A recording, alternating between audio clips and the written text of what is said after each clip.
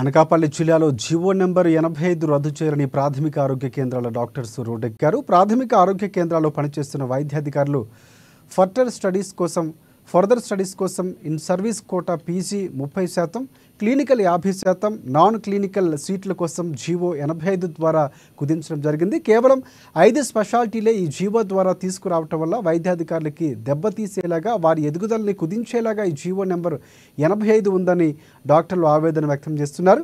ఇక ఎప్పటి నుంచో పనిచేస్తున్న సీనియర్ డాక్టర్లకు ప్రమోషన్ కల్పించాలని ఏజెన్సీ ప్రాంతాల్లో పనిచేస్తున్న డాక్టర్లకు ట్రైబల్ ఎలివేషన్స్ కల్పించాలని కూడా డిమాండ్ చేశారు. నిత్యం ప్రజలకు సేవ చేసే వారికి కనీస సౌకర్యాలు కల్పించాలని జీవో ఎనభై ఐదును రద్దు చేయాలని ప్రభుత్వాన్ని వారు కోరారు.